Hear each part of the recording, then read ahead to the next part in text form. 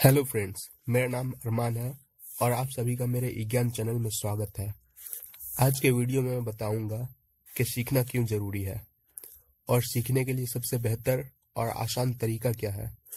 और सबसे पहले मैं बता दूँ कि अगर इस डिजिटल दुनिया के साथ आप चलना चाहते हैं तो प्लीज़ इस चैनल को सब्सक्राइब कर लें ताकि जो वीडियो मैं अपलोड करूँ, वो सबसे पहले आपके तो दोस्तों, सबसे पहले तो ये जाने कि डिजिटल दुनिया में कदम कदम पर आपको कुछ ना कुछ सीखने की ज़रूरत पड़ती है।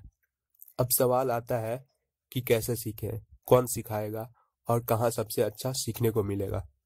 और इन सवालों के जवाब खोजने के लिए या तो हम किसी टीचर या फिर गूगल या फिर यूट्यूब का सहारा लेते हैं, पर किसी के भी सवाल से हमें सहमति नहीं मिलती।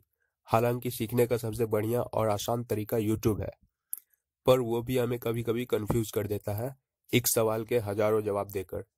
किसी किसी को तो समझ में आ जाता है, पर कुछ ऐसे चैनल और ऐसे सिखाने वाले होते हैं जो बड़े डिफ़िकल्ट तरीके से समझाते हैं, जो किसी किसी को समझ में नहीं आते।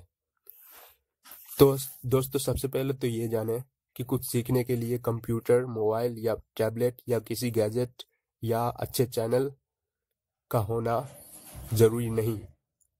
सीखने के लिए अच्छे तरीका और कुछ नया होना चाहिए। और सीखने का जज्बा होना चाहिए।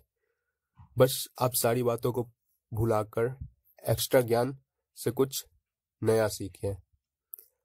अब आपको परेशान होने की ज़रूरत नहीं और कुछ सीखने के लिए और कहीं जाने की ज़रूरत नहीं।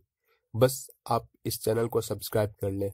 इस चैनल में आपको सिर्फ़ टेक्नोलॉजी से रिलेटेड ही नहीं, बल्कि हज़ारों ऐसी जानकारी मिलेंगी जिसकी आपको ज़रूरत है, जिससे आप अपनी लाइफ को बेहद आसान बना सकते हैं।